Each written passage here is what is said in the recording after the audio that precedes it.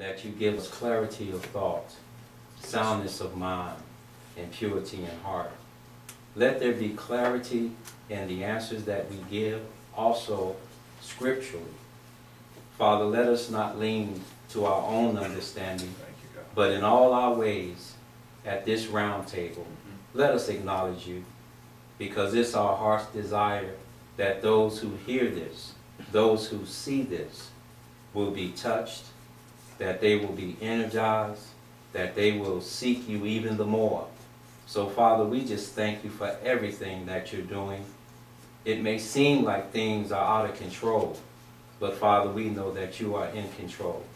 It may seem like there's some things that's impossible, Mhm. but we know that with you, All things are possible. all things are possible. Thank you, God. So, Father, we just lift up your name and we welcome you in this place right now. Thank you, Jesus. Now, Father, I just pray, Father, that you just continue to bless these men. Thank you. Bless our efforts, because it's about you. Mhm. We're lifting up the name of Jesus. So that means that we are being obedient to the word of God. Thank you. And that's a blessing within itself. So, Father, I ask that you touch each man that's represented here tonight, whatever needs they may have, whatever decisions they may need to make. I pray, Father, that you enter into it right now. In Jesus' name. In Jesus' name we pray. Thank you, Lord. Amen. Amen. Check. Amen. Roger that. Um, Well, uh, good evening if you're watching this by video. Uh, My name's Daryl Harris, um, part of Real Men Ministries Incorporated. To my right is Pastor Todd Woolston, Real Life Church in Virginia Beach. Woo, woo. Good. To his right is Nelson Marrero, Latino, A to J, very creative type, and uh, he's one of the board members of Real Men. To his right is Richard Pickett. Richard Pickett is a minister, an elder, a longtime man of faith, and uh, part of the board for Real Men. Amen. Uh, To my second left over there, sipping that big old tall tea with the pink stripes on his socks and the afro is my man, Tom Menifee. All good. Tom, It's all good. Don't And, uh, you know, I'm excited about getting to know Tom. I've met Tom less than a year ago, and he's a man who loves God, a man who is uh, willing to draw other men to God, and, uh, and very essential to this, this team and what we're doing. And then we've got the worshiper. Nobody can do anything in the kingdom of God without the worshiper. Amen. And that's Brother Jeff Wick. And uh, so we're happy to have Jeff here. We're going to talk a couple, about a couple of questions tonight. You see it up on the board there. Uh, and it is simply, why are there so many churches is the first question. Why are there so many churches? I'm going to kind of facilitate this discussion, but let's just take that question right now. Yeah. Why are there so many churches? And, and does that really necessitate a definition of what the church is?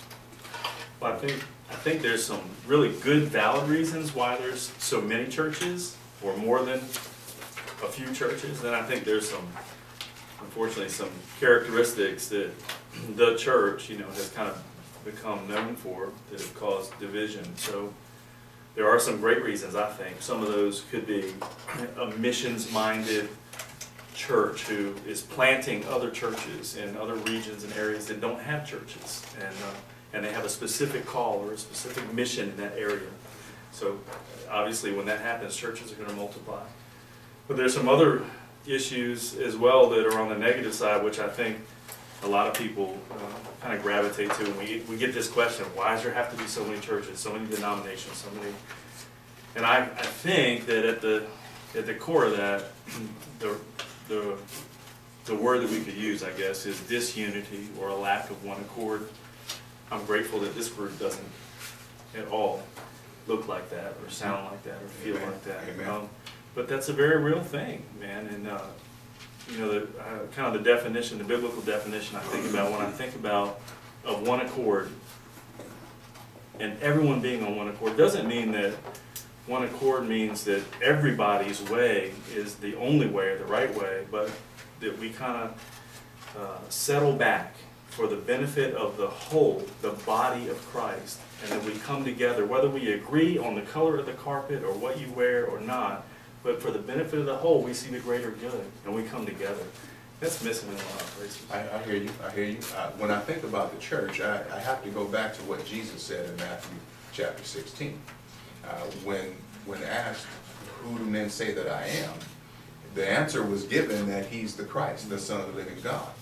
He told Simon, he told Peter at the time, uh, that, Simon at that time, that flesh and blood didn't reveal that to him, but the Father in heaven revealed that to him. He said, and upon this rock, you, your name shall no longer be Simon, but it shall be Cephas, Peter, a rock. And upon this rock, Jesus says, I will build my church, implying that there's only one church. So why so many churches? Well, you're talking about churches, the Wait, come on building. now. So, so Versus that's why, churches, the body of Christ. that's why I Yeah. said, see, and, Yeah. and Paul talks about the church as the body of Christ. And Jesus being the head of the body. Yeah. Christ the head of, of, of, uh, God the head of Christ, uh, the Father, Cr- uh, the head of Christ, and Christ the head of the church, which is the body. And we, the church, the worldwide body, are different parts of the body of Christ, one church. Ephesians says one Lord, one faith, one baptism, mm-hmm. one Holy Spirit into one church. So why so many churches? I think it, it, in a perfect sense of how Jesus intended it, there would only be, there is only one church. There is only one. Now, the expression of that church is where we get the different denominations from. And that's not a problem because the Jews, when the church started, they were all with the Gentiles one church, but they had different practices. Like the Jews didn't want to eat any swine. The Gentiles didn't have a problem with that. They were both in the church though. See, I think if you if you walk by a building and you hear music playing and it stops you and you say, that is just great music. I like the way the horn sounds, or I like the way something in that music is so I gotta find out what motivated that person. So that person walks in, another person walks by, they hear the music, but they also see the stained glass windows. They see the windows and say, that is beautiful art. I gotta find out who constructed that. You see, they're not paying attention to the music. Something else has grabbed them. Mm-hmm. They walk in, and that's our purpose is to get them into the body of Christ. And like Paul said, the foundation can no other man lay. There's only one foundation, and Right, that's right, Christ. right. Now, on top of that foundation, you're gonna build. Now, you're either gonna build something that can sustain fire or something that gets purified in fire. If, if you uh, build wheat, hay, and stubble, fire hits that, it's gonna It's gonna burn evaporate. But uh, gold, silver, precious stones, that gets purified in fire. So it's not so much, because I got no problem with people who uh, do the hymns. I got no people who, no problem with people that stand up and, and, and shout and yell for the Spirit. I don't have a problem with the way they express their belief. My, uh, I guess, concern would be the foundation of their belief. I can worship with anybody as long as the foundation is Christ. He died for our sins and he rose again for our justification. I can just about talk to anybody as long as that's the foundation. I may not agree with anything else they build on that foundation, but that's just a preference for me. Okay, so, so you just made a distinction between essentials that every body of believers should believe, and non-essentials that we can not embrace and, and not deny. They may look different. Okay, so I, I will agree, there are essentials. What are those essentials? But we still haven't defined what the church is or who the church is. And the other word that came up was denomination. What is a denomination? Why so many churches? Are there so many churches because there are many denominations?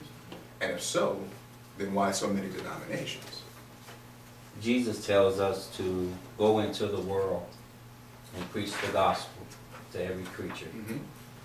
And he says, starting with where you're at, and then it'll spread out into the whole world. So the scripture also tell us to forsake not the assembling of ourselves. So as we go out to preach the gospel, we communicate Christ. And we begin to get people who will hear that message and want to become a part of that message. That's a church really established right there with a body of believers. So when we're going out into the world, that means that churches is gonna be everywhere where believers congregate at. Because now we're assembling ourselves as believers. And we are communicating Christ, the death, the burial, the resurrection of Jesus Christ. And he says, if I be lifted up, he said, I would draw all men unto me. Mhm. And that's why we have so many churches, because like Pastor Todd said, some of them are really about the Father's business. Jesus is really being lifted up in some of these assemblies that we have where people have come together. And then you have others that have their own rendition of who Christ is. And these are false teachers that's establishing their own doctrines about Christ instead of sticking to the Word of God. But when I see that red print and it tells me to go into all the world and preach the gospel, I have now become an ambassador of Christ. And if I get a group that want to congregate around that message, then I can start a church right there because the church is the body of Christ. Okay. You said, you said, uh, uh, you built, you picked up on denominations. You Mhm. said doctrines, Right, which are teachings, right, okay? Various teachings. right. So then are we divided on teachings? Is that the reason why we have so many denominations? And if we're divided on teachings, the question becomes why? Because Jesus was pretty clear. You said gospel, the gospel, the gospel, the good news. The good news of what? Of God invading humanity, cloaking himself in humanity, becoming a man, living amongst us a sin-free life Right. to pay the penalty as he dies innocently, a lamb without spot or blemish, slain from the foundation of the world, mm-hmm. and dying upon this cross to pay the penalty for all man's sin. So it's pretty clear what the gospel is or what the essentials are. Right. So then, why so many denominations, why so many doctrines, why so many churches? Is there really but one church? We are just not united as one church. Is that the case? Because Peter says in, in 1 Peter chapter 2, he, he calls us living stones. We are. Christ being the chief cornerstone. And we're living stones. And so the individuals comprise the church. We come to a location to celebrate corporately and to worship corporately together because we're not supposed to forsake the assembling of ourselves. That's Hebrews chapter 10 Right.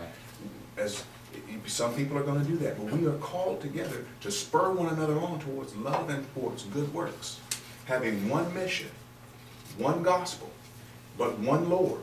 His name is Jesus. He has one goal, and that's to save as many people through us as possible, because he wants no one in hell. So why so many churches?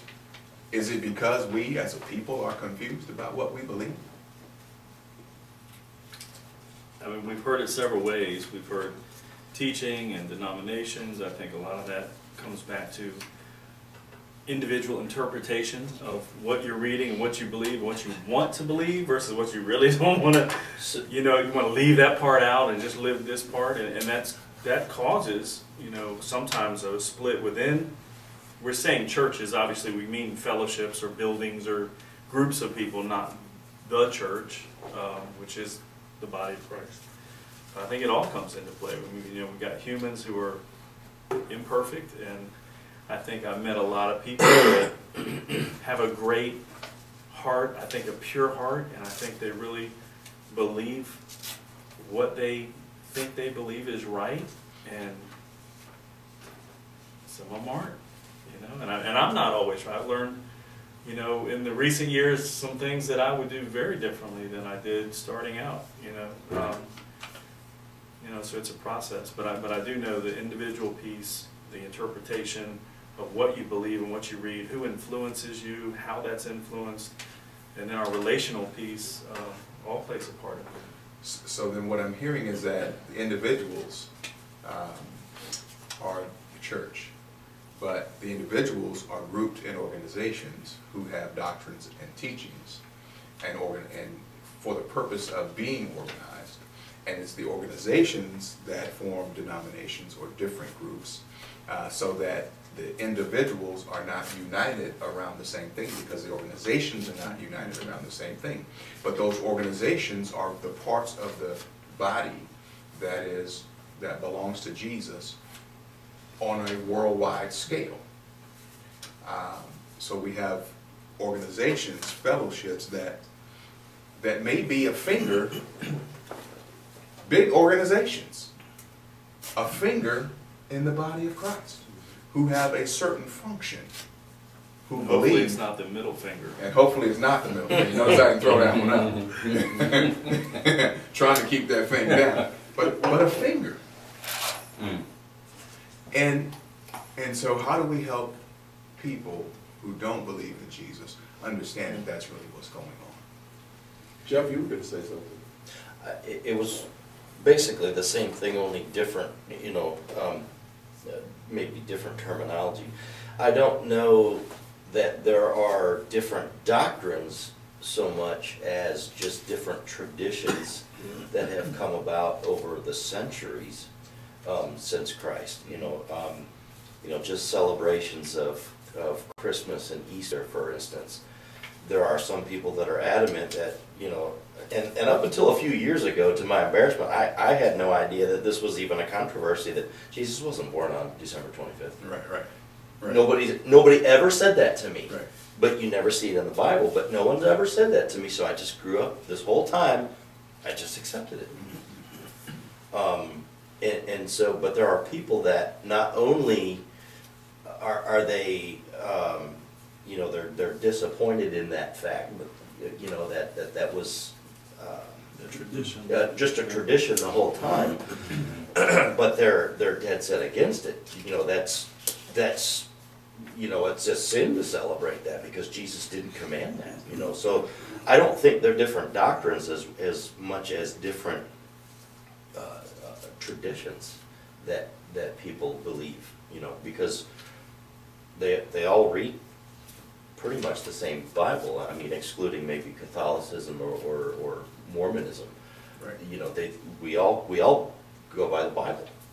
Yeah, I, I would, I would certainly not put Mormons in the category of Christians, of believers, because of how they, because they believe that Jesus was a created being. Right. Which makes him a spirit brother of Lucifer, and that cannot be, But- because he's always been. He's That, that was my, my point, is that yeah. there's, you know, very few, uh, religions are, are going at different doctrines. Uh, It's more so traditions and, and celebrations that are either celebrated or not. Yeah. You know, some of, some of it being, uh, communion or baptism, you know, those are, those are controversies, but they're all reading the same Bible as we are. It, it, that's true, but there's different interpretation of those two ordinances of the church. Right. And they're, they're really foundational ordinances, baptism and the Holy Communion. When do you take it? Is the, is it prescribed or is it de- merely So we grew described? up, it was the, the third Sunday of every month Right, or that's whatever. right. But that's not what the word says. You know, That's the word true. says as often as you As do this, remember as you- me. It- Right, and, and so, you know, that becomes a tradition, the third Sunday of every month, Yeah. that's just how we do it. But then water And that was- baptism, Yeah. And it was brought about, uh, you know, uh, just over, over the centuries. but the problem with that tradition is it becomes a doctrine. Yes. And it, it becomes a staple in that community of belief. Right. And we do this because this is how we do it. And then we find something in the scripture to validate why we To do make what we it do. fit. Right. And, Do uh, something long enough, it becomes the new norm, and you Yeah. have to Every- legitimize that. You know, that's kind of the way we do. Everything starts with learning. And as a baby, you, you crawl, you fall. Then you walk, and you fall. The, the church, because I said earlier, I just want to clarify one thing, is we, something may attract us to Christ, attract something inside of me likes that. But the minute I become infused with Christ and I believe that He died for me, my desires have to change in time. Because the whole process is me getting to be more like Him and less about who I was before I met Him. If I'm still the same way three years later, mm-hmm. I'm not growing. So anything can, can, can maneuver me in different directions. Because the one thing about truth, it stands alone and it, it, it pushes off everything else. Truth, the minute you add something to it, you diminish it. Right. Because truth by itself is exclusive. So the minute I learned that, me, I have to change. And if I'm not changing, then I'm not learning. Because in every relationship, even a relationship I have with you, when I first met you, we're not the same that we are now. Because if we were, I wouldn't know you like I know you now. Right. We had to learn about each other, and that was a give and take. Mhm. You know, let's say where I grew up, the way to say hello to someone you like was to walk up to them and slap them. You'd probably let me do that one time before you said the next time you don't want to do that Right. because that's not the way I show that I like someone. Yeah, yeah. See, now me, I would say, well, in order to respect him and get to know more about him, I know that I have to change that. Mm-hmm. The next time I see, I can't do that because although that's the way I express it, that's not the way he feels when I do that. So I have to change. So primarily, the reason there's so many denominations in my the, the way I see it is that people refuse to be wrong.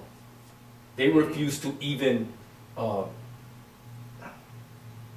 to even explore the, the, the fact that they may be wrong. Right. And because you can't explore that, then you shut people out. That's why I say the foundation. I can be wrong about everything else I believe, but I'm not wrong about the foundation. Right. You can't argue with me about the foundation because the minute you do, then I know there's no there's no way we can commune because we're not reading that book. Because the foundation is in that book. That doesn't everything else may be tit for tat, but the foundation, there's no getting around that in that book. You have to literally tear stuff out of that book in order to kill the foundation. And I don't mean one piece. I mean out of every one of those 66 books, you have to tear something out of Mm-hmm. in order to kill the foundation. Or you add something too, which is, Yeah, which right. is what the Universal Church does, the Yeah. Catholic Church does. I want the listeners to, to, to hear this because Jesus says he's coming back for a church without spot or wrinkle. Mm-hmm. Uh, Jesus did not die for brick and mortar. That's right, He died for you and I. that's right. So he's coming back for you and I. Mm-hmm. So when you say church, sometimes I think people think The building. Bricks and mortar. But we are the church. We are the We're the epistles. living stone. We are read of men. That's what it tells us we are. So you're like a document. You're like a document. You're like a document. And the Holy Spirit will go through that document and he will begin to edit things out of your life that doesn't line up with this. Amen. And then he'll place from this into your life. And that's the change, that's the experience. But don't think like church, meaning like building. Christ is not coming back for a building. He's coming back for those that have accepted him as Lord and Savior of their life. Amen, amen, I'll agree with you. Tom, you have anything you want to add? No, because I don't know. Okay. Now, so let me, let me just, let me just summarize uh, what we said. We said that the church is not a building. It is the, the gathering of people who believe in Jesus. Jesus is the foundation, the head of the body of Christ, and he is the foundation. Those foundational principles are the gospel. They comprise the gospel, that he was born of a virgin, just like the Bible says, that he lived a sinless life, just like the Bible says, that he died upon that rugged tree, just like the Bible says, that he was resurrected on the third day, just like the Bible says, that he walked on the earth for 40 days, just like the Bible says, that he was ascended, he ascended up into heaven, just like the Bible says, and he is right now seated at the right hand of the Father, like the Word, like the Bible says, and one day he's coming back. While he's there, he sent the Holy Spirit to empower us to be better witnesses for him and what he has done work that he's done, and he's praying for us, making intercession for us. There was nothing more important to him. Is- or So are those the foundational principles? And one day he's coming back. Right. Now, whether or not it's pre-trib, post-trib, we're not going to talk about that. But one day he's coming back. Those are the foundational principles. We can all agree on that. There's an uh, there's a, uh, a tangent though that some people add, and they add that there's a co-mediator. But the Bible says there's only one mediator between God and man, and that's That's the right. man Christ Jesus. That's There right. is not a co-mediator. So as long as we have our hope in Him and His finished work, we are a member of the church. And when we become a member of the church, it is incumbent upon us. We have the responsibility personally to get to know Him and allow that this letter that God is writing to be edited by the Holy Spirit so that our lives can be read by others. Is that what we're saying? So we are the church, right? Absolutely. And Jesus expects us to be united. Right. He expects us to love and he expects us to, to go off and tell others. Why so many churches then? Because individuals have not embraced who they are and what part they play in the body of Christ. And one last thing, any church you find, make sure that the foundation is right, because your very soul depends on that. Everything else is really preference. You have no preference as far as what exactly paid for your sins. It was his death on that cross that paid for your sins, and we know that God accepted that as payment because he brought him out of the grave. You have to believe that, because if not, you will believe a lie, and when you get to the other side, there'll be no hope. There's no place where you get counseling once you die. Once you die, it's over. Amen.